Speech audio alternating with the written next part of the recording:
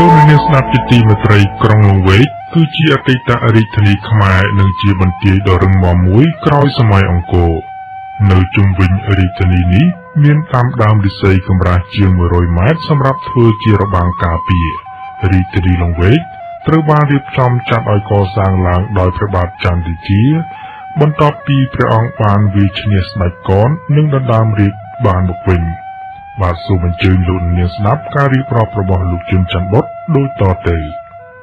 ព្រះបាទចន្ទរាជាក្រោយពីសម្រេចការសង្គ្រាមលើស្ដេចកនបានហើយព្រះអង្គទ្រង់គង់នៅបន្ទាយជ័យខេត្តពោធិ៍សាត់ដដែលប៉ុន្តែមិនយូរប៉ុន្មានគឺដល់ឆ្នាំ1527ព្រះអង្គទ្រង់ចេញបញ្ជាឲ្យមន្ត្រីជំនាញរបស់ព្រះអង្គមួយចំនួន មានអុកញ៉ាពិភៈអេសរា អុកញ៉ារក្សាអ៊ីស្រាអែលជាមេការអុកញ៉ាពិភៈទិពរាជអុកញ៉ាស្រីសុមេតរាជាធិបតីបែនក្រមសូរិយោដីរៀបចំកសាងព្រះរាជវាំងក្រុងលង្វែកជាទីដែលព្រះអង្គយល់ថាមានជាយភូមិល្អ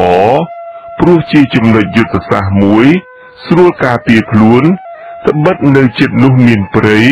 មានទន្លេ និងមានបឹងទៀតផង រាជធានីថ្មីនេះត្រូវសាងឡើងដោយម៉ត់ចត់អស់រយៈពេល3ឆ្នាំ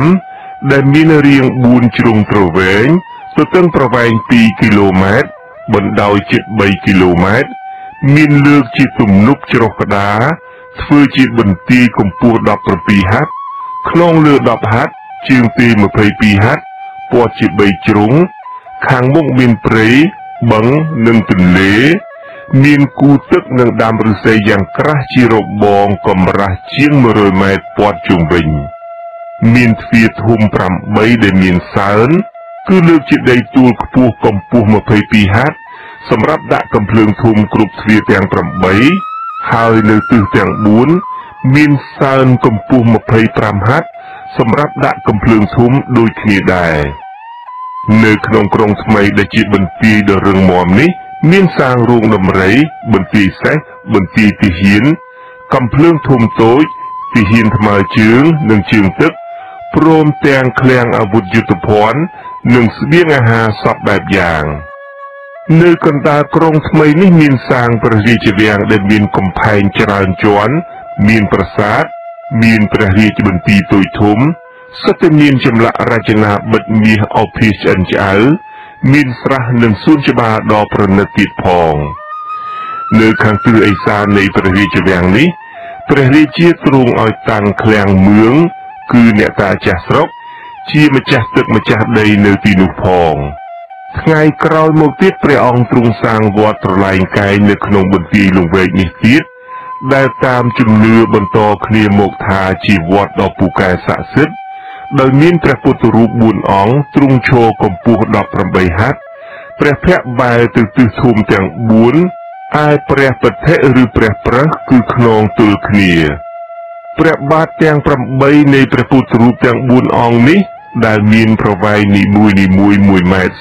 40ត្រូវបានសាងឡើងដោយបានមកពីផ្ទាំងថ្មមួយផ្ទាំងធំកម្រាស់2ហត្ថទំហំ5ហត្ថ4ជ្រុង ដែលតាមការនិយាយតតគ្នាមកថាថ្មនេះ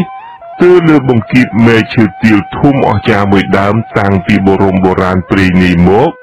នៅភូមិឈើទាលប្រអោបជាព្រំខេត្តសំរោងទងនិងខេត្តលង្វែកនេះ ដែលព្រះអង្គចន្ទរាជាទ្រង់បានទតឃើញផ្ទាល់ព្រះអង្គឯតួអង្គព្រះពុទ្ធបដិមាករទាំង4ព្រះអង្គបានមកពីដើមឈើទាលដែលមានផ្ទាំងថ្មទើលើមែកឈើ ហើយដែលតាមបណ្ដាំអ្នកកាន់សិលឬបងបត់ឈ្មោះពញាដែកបានទូលព្រះអង្គថាជារបស់វិសេសនោះរាជធានីលង្វែកគឺជាបន្ទាយដ៏រឹងមាំនិងជាឃ្លាំងវប្បធម៌ដ៏រុងរឿងបំផុតនាសម័យក្រោយអង្គររបស់ប្រទេសកម្ពុជាឯកសារខ្លះបញ្ជាក់ថានៅកណ្ដាលរាជធានីនេះគេបានសាងបដិមាព្រះគណេសដ៏ធំគឺខ្លួនមនុស្សក្បាលដំរី ដែលជាអតិទេពតំណាងខាងអក្សរសាស្ត្រនិងវិទ្យាសាស្ត្រទុកជាអ្នកតារក្សាក្រុងម្យ៉ាងទៀតមានការនិយាយតតគ្នាថានៅក្នុងបន្ទាយលង្វែកនេះគេបានតម្កល់បដិមាព្រះគូមួយអង្គនិងព្រះកែវមួយអង្គដែលជាបងប្អូនបង្កើតទីបញ្ចប់នៃព្រះជន្មាយុរបស់ព្រះអង្គក្នុងឆ្នាំ1566នៃគ្រិស្តសករាជ លោកអ្នកស្ដាប់ជាទីមេត្រីក្រុងលង្វែកគឺជាអតីតរាជធានីខ្មែរនិងជាបន្ទាយដ៏រឹងមាំមួយក្រោយសម័យអង្គរហើយដែលអ្នកស្រុកតែងតែគោរពបូជាដោយចាត់ទុកថាជាវត្ថុស័ក្តិសិទ្ធិរបស់ជាតិខ្លួនថែមទៀតផងម្យ៉ាងទៀតគេក៏ជឿដែរថាគម្ពីរក្បួនច្បាប់ដែលសំខាន់បំផុតរបស់ជាតិត្រូវគេយកមករក្សាទុកក្នុងពោះព្រះគោនោះឯងនៅឆ្នាំ1529 ក្រោយពីបានសាងបន្ទាយលង្វែកព្រះរាជវាំងរាជដំណាក់ទូចធំចាប់សពគ្រប់ហើយព្រះបាទខិតយាមហាចន្ទរាជាទ្រង់យាងចេញពីបន្ទាយខេត្តពោធិ៍សាត់មកគង់នៅរាជធានីថ្មីគឺបន្ទាយលង្វែកនេះ